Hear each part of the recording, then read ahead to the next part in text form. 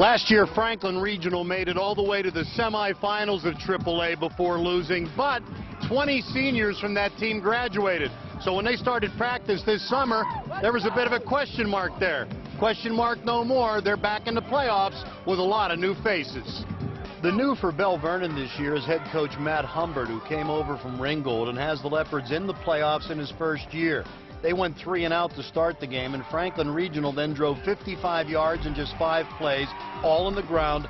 Brett Zanato with the final 20 for the touchdown. He's headed to Maryland next year, and it was 6-0 Panthers. Belle Vernon managed only three first downs and 40 yards in the first half. Travis Snyder is intercepted deep in his own territory by Vinny Farina, who returns it to the Leopards 7. Two runs, and Franklin Regional was in again. Santino Birdie, the quarterback, keeps for the score. James Young, who missed the first extra point, makes the second one 13 to nothing after a quarter. In the second, the Panthers stalled at the Belle Vernon 30, fourth and 10, and Birdie pooch punched down to the one-yard line, down by Andrew Burnsick, keeping the Leopards in tough field position. Last minute of the half, Franklin Regional driving again. First and 10 at the Belle Vernon 14. Birdie is intercepted by the Leopards' Phil Taylor to keep it close at the half.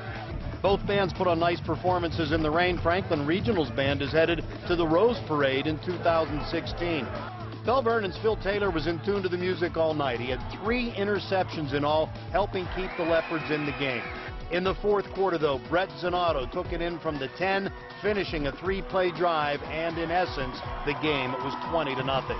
Belle Vernon did put together three drives of 12, 9, and 11 plays in the second half. They dominated the time of possession but could never convert, falling short the last time on the Franklin Regional 3 say anytime you throw zero out in a yeah. playoff game, you got to be pretty pleased. Yeah, you are. You know, Belle Vernon's a good football team. They, the last three games, they put a lot of points on the board against their opponents. We knew they were explosive. Uh, you know, they moved the ball on us at times. They threw the ball at times. We kept them out of the end zone. That's that's the key. One more win, and you're back at, at least as far as you were last year. Yeah, it's very exciting to be where we are, but we're not satisfied. We need to keep going.